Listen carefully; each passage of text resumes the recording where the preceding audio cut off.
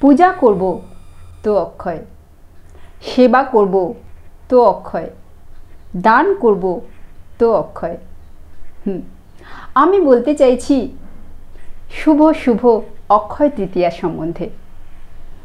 হরে কৃষ্ণ, আমি রুক্মিণী দাসী। আশা করি আপনারা সকলে খুব ভালো আছেন এবং সুস্থ আছেন। তো অক্ষয় তৃতীয়া কি এবং কেন? কি করব আমরা সেই দিনটায়? আসুন, আমরা সকলে একটু জানার চেষ্টা করি। এই অক্ষয় তৃতীয়ার শুভ দিনে শ্রী বিষ্ণুর অবতার পরশুরামের প্রাকট্য দিবস এবং এই শুভ দিনটিতেই সত্যযুগের শুরু হয়েছিল। এই সেই শুভ দিন যেদিন না শুধু আমাদের এই ভারতবর্ষ, উপরন্তু সমগ্র জগৎকে পবিত্রকারিণী মা গঙ্গা এই পৃথিবীতে অবতরণ করেন। এটি এমন একটি শুভ দিন, যেই দিনে মুনি ব্যাসদেব আমাদের শাস্ত্র মহাভারত রচনা শুরু করেন। এই শুভ অক্ষয় তৃতীয়ার দিনই বদ্রীনাথ আপনারা সকলেই জানেন। সেই বদ্রীনাথের দরজা ছ মাস বন্ধ থাকে এবং ছ মাস খোলা তীর্থযাত্রীদের দর্শনের জন্য।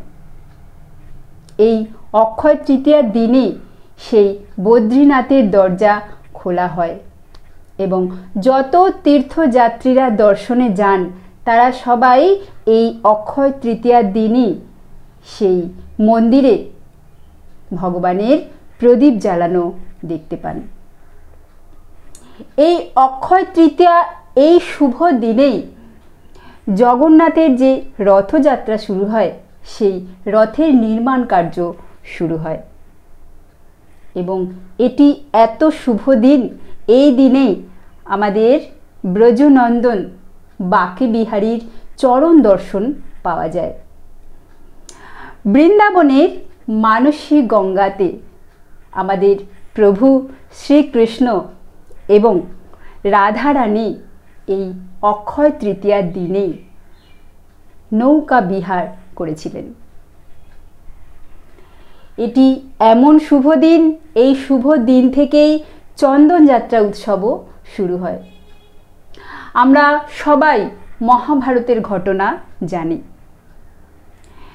পাশা খেলায় যখন পাণ্ডবেরা হেরে গিয়েছিলেন, ঠিক তখন দুঃশাসন দ্রৌপদীর বস্ত্র হরণ করে অপমান করার চেষ্টা করেন এবং ঠিক তখন দ্রৌপদী প্রভুকে ডাকেন, প্রভু স্মরণ করেন এবং তখনই আমাদের কৃপালু প্রভু দ্রৌপদীকে এত বস্ত্র দান করেন, এত বস্ত্র দান করেন। দুঃশাসন অনেক ছোট পড়ে যায় সেখানে। এই সেই দিন, এই অক্ষয় তৃতীয়া, যেদিন ভক্ত সুদামা আমাদের প্রভুর সঙ্গে দেখা করতে দ্বারিকায় উপস্থিত হন।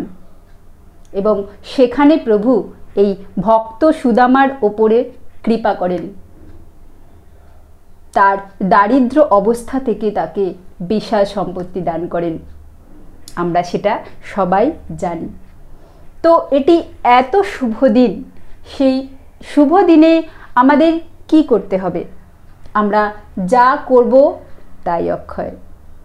তো এই শুভ দিনে আমরা বেশি থেকে বেশি হরি নাম জপ করার চেষ্টা করব। বেশি থেকে বেশি ভগবানের আরাধনা করার চেষ্টা করব। শাস্ত্র অধ্যয়ন করার চেষ্টা করব। সব থেকে বড় কথা, সেদিন স্নানের মাহাত্ম। গঙ্গায় দানের মাহাত্ম। কিন্তু এই বছর যা পরিস্থিতি লকডাউন করোনা তাতে আমাদের স্নান সম্ভব নয়। তাই আমরা চেষ্টা করব অন্তত আমাদের নিজের বাড়ির আশেপাশে যদি কোনো গোমাতা থাকে, তার সেবা করার। যদি কোনো সেবা করার কেউ থাকে, তার সেবা করার। যদি মন্দির থাকে, বৈষ্ণব থাকে, তাদের সেবা করার। যতটুকু কমের থেকে কম সম্ভব হয় গৃহে থেকে, ঘরে থেকে। যতটা কম সম্ভব আমরা বাইরে বেরোনোর চেষ্টা করব। এবং এইভাবেই আমরা সেই দিনটা পালন করার চেষ্টা করব। তো চলুন আমরা এই দিনটিকে খুব খুব ভালোভাবে পালন করি। কিন্তু এটি মনে রাখতে হবে যে যা করব তাই অক্ষয়। নাম করব, পুজো করব, দান করব, তপস্যা করব। তাই অক্ষয়, উপরন্তু ক্রোধ করব, তাও অক্ষয়। মিথ্যা বলব, তাও অক্ষয়। পাপ করব, তাও অক্ষয়। তাই এই সব কিছু থেকে আমাদের সেদিন বিরত থাকতে হবে। যতটা বেশির থেকে বেশি আমরা ভগবানের আরাধনা করে কাটাতে পারব, ততই আমাদের জীবনে সব মঙ্গল চলে আসবে। তো চলুন, এই দিনটা আমরা খুব সুন্দর করে কাটানোর চেষ্টা করি। সবাই ভালো থাকবেন। হরে কৃষ্ণ।